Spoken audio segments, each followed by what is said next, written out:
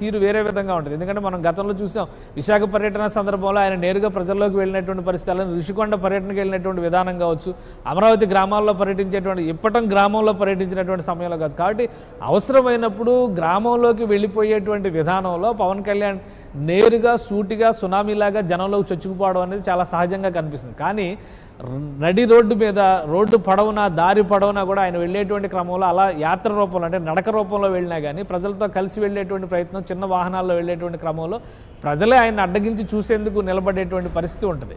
ఒక కిలోమీటర్ దూరాన్ని ఆయన నడిచి వెళ్ళాలంటే కనీసం రెండు మూడు గంటలు పట్టినటువంటి పరిస్థితి గతంలో మనం చూసాం ఎందుకంటే రాజమండ్రి కవాతు సమయంలో కావచ్చు విశాఖ కవాతు సమయంలో కానీ ఇలాంటి స- అనుభవాలన్నీ ఉన్న నేపథ్యంలోనే జనసేన పార్టీ ఒక క్లియర్ కట్ రూట్ మ్యాప్ని ఏర్పాటు చేసుకోవాలి. ఒక ప్రణాళికాబద్ధమైన ప్రణాళికాబద్ధమైనటువంటి బస్సు యాత్రకి సిద్ధం కావాలనేటువంటి ఆలోచన చేసింది. ఈ క్రమంలోనే ఆయన అవసరాలకు తగ్గట్టుగా ప్రజలతో ఆయన మమేకం కావడానికి ఎటువంటి ఆటంకాలు కలగని విధంగా అలానే భద్రత పరంగా కూడా ఆయనకి అన్ని రకాల రక్షణని ఇచ్చే విధమైనటువంటి ఒక వాహనానికి రూపకల్పన చేశారు. దాన్ని ప్రత్యేకంగా డిజైన్ చేశారు ప్రత్యేకంగా తయారు చేశారు. దానిలో ఉపయోగించినటువంటి రక్షణ వ్యవస్థలు కావచ్చు బుల్లెట్ ప్రూఫ్ వ్యవస్థలు కావచ్చు అవన్నీ విదేశాల నుంచి దిగుమతి చేసుకుని మరీ రూపొందించినటువంటి పరిస్థితి. ఈరోజు కూడా ఫైనల్ ఫినిషింగ్ టచెస్ అన్నీ అయిన తర్వాత పవన్ కళ్యాణ్ ఆ వాహనాన్ని బయటకు వచ్చిన తర్వాత అంటే ఆ షెడ్ నుంచి బయటకు వచ్చిన తర్వాత ఆ దృశ్యాలను మనకు రిలీజ్ చేశారు. ఆ దృశ్యాల్లోనే ఆయన దాన్ని మొత్తం పరిశీలన జరిపిన తర్వాత కొన్ని కొన్ని చిన్న చిన్న మార్పులు కూడా చేసినట్టుగా సూచనలు కూడా చేసినట్టుగా సమాచారం అందుతుంది. దానికి తగ్గట్టుగా దాన్ని అలంకరించడం ద్వారా రాబోయే రోజుల్లో అంటే ఇంకొక నెల రోజుల సమయం జన జనవరి మాసం సంక్రాంతి పండగ తర్వాత యాత్ర మొదలుపెట్టేటువంటి అవకాశం చాలా స్పష్టంగా ఉంది.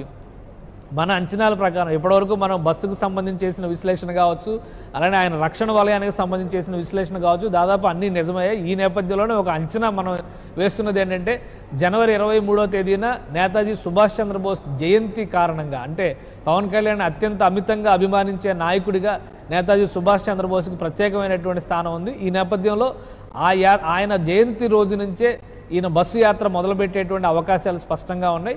కాబట్టి ఈ షెడ్యూల్ని సంక్రాంతి పండగ సమయంలోనే పవన్ కళ్యాణ్ విడుదల చేసేటువంటి అవకాశం ఉంది. ఇప్పటికే జనసేన పార్టీ అంతర్గతంగా జరిపిన చర్చల సారాంశాలను బట్టి చూస్తే కనుక ఆంధ్రప్రదేశ్లో ఉన్న నూట డెబ్బై ఐదు నియోజకవర్గాలని కూడా చుట్టి రావాలి అనేటువంటి ఆలోచనతో పవన్ కళ్యాణ్ ఉన్నారు. ఆయనతో పాటు ఆయన నాయక శ్రేణుల్ని వెంట తీసుకెళ్ళేటువంటి అవకాశం ఉంది. స్థానిక నాయకత్వాన్ని బలోపేతం చేసేటువంటి అవకాశం ఉంది. స్థానికంగా ఆయా నియోజకవర్గాల్లో ఎవరైతే క్రియాశీలంగా వ్యవహరిస్తున్నారో ఆ నియోజకవర్గాల అభ్యర్థులు లేదా ఇన్ఛార్జీలు ముఖ్యంగా ఇన్ఛార్జీలని పరిచయం చేయడం ద్వారా ప్రజల్లోకి జనసేన పార్టీ ఏ విధంగా ముందుకు వెళ్ళబోతుంది ప్రజా సమస్యలపైన ఏ విధంగా పోరాడబోతుంది రెండు ఎటువంటి అభివృద్ధి నమూనాని ఆంధ్రప్రదేశ్ ప్రజలకి అందించబోతుంది అనేటువంటి విషయాలను చెప్పడం కోసమే ఈ భారీ వాహనాన్ని పవన్ కళ్యాణ్ సిద్ధం చేసుకున్నారు. సౌండ్ సిస్టంతో సహా లైటింగ్ అండ్ సౌండ్ సిస్టంతో సహా అన్ని రకాల అధునాతన వ్యవస్థలు ఇందులో అమర్చినట్టుగా మనకు అందుతున్నటువంటి సమాచారాన్ని బట్టి తెలుస్తుంది ప్రియాంక. సార్ ఏ రాజకీయ పార్టీ అయినా ఇలాంటి యాత్రలు చేపట్టినప్పుడు అక్కడ ఉండే వెహికల్స్ కావచ్చు వారి వారి పార్టీలకు సంబంధించిన రంగులు వేయటం మనం ఇప్పటి ఇప్పటివరకు చూసాం. అయితే ఇప్పుడు పవన్ కళ్యాణ్ ఆ ప్రచార రథానికి ఎంచుకున్న రంగులను కానీ అలంకరణ కానీ ఆ మోడల్ని కానీ మనం చూస్తే కనుక ఖచ్చితంగా పవన్ కళ్యాణ్ ఇప్పటివరకు ఏ విధంగా భిన్నంగా ముందుకు వెళ్తున్నారో రాజకీయాల్లో అదే విధంగా భిన్నంగా ముందుకు వెళ్తున్నారు. వాళ్ళు ఖచ్చితంగా ప్రజాక్షేత్రంలో ముందే మనకి ఈ ప్ర ప్రచార రథానికి కావచ్చు ఈయన చేపట్టబోయే యాత్రకు కావచ్చు ఖచ్చితంగా ఇప్పుడే సక్సెస్ వచ్చేసింది అనే సంకేతాలు అయితే వస్తున్నట్టు అనిపిస్తోంది. ఏమంటారు? అంటే స్పష్టంగా పవన్ కళ్యాణ్కి ఒక ఐడియాలజీ ఉంది. ఆయన రూపొందించినటువంటి వాహనం చాలా స్పష్టంగా ఒక శతగ్ని తరహాలో కనిపిస్తున్నటువంటి సైనిక వాహనంలా ఉంది. సైనిక వాహనాలకి ఎటువంటి రంగు వాడతారో ఆ రంగే వాడారు. ప్లస్ ఆయన అత్యంత ఆరాధించేటువంటి చేగువేరా ఉపయోగించేటువంటి యూనిఫామ్ కలర్ అది.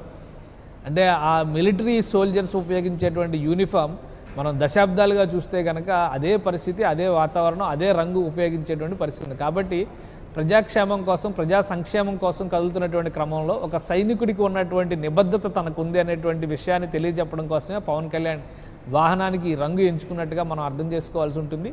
అలానే జనసేన పార్టీ అనగానే తెలుపు ఎరుపు రంగుల జెండాను మనం ప్రతి సందర్భంలో కూడా చూస్తాం. కానీ ఈ వాహనాన్ని మాత్రం ఆయన ప్రత్యేకంగా